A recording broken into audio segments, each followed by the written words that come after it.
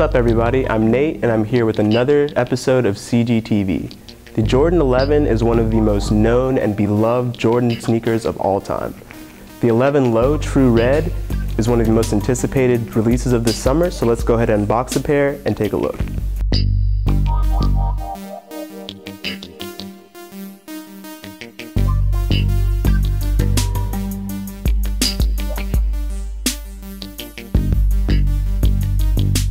The Jordan brand is celebrating their 30th anniversary, and the 11 is easily one of the most treasured in the line.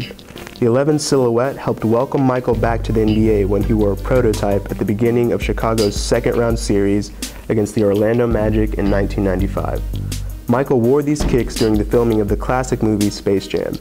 These sneakers helped MJ and the Bulls pull off the record breaking 72 win championship for the 1995 1996 season. Jordan first donned the AJ11 Bred in the summer of 1996, but in a high top. Now the sneaker is releasing as a low in the original colorway. The sneaker has a black patent leather upper wrapping from heel to toe box with black mesh covering the rest of the shoe.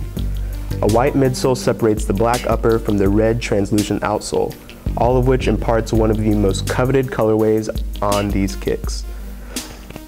As with the high version of the silhouette, the low sports are embroidered Jumpman on the heel and tongue.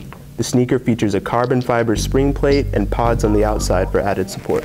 The AJ11 True Red drops Saturday, May 23rd in stores only, so be sure to check in with your local city gear to grab a pair. The men's are available for 170, the grade school are available for 120, the preschool are available for 75, and the toddlers are available for 55. Be sure to like us on Instagram, Facebook, and Twitter, and don't forget to subscribe to our YouTube channel. Thanks for tuning in to another episode of CGTV.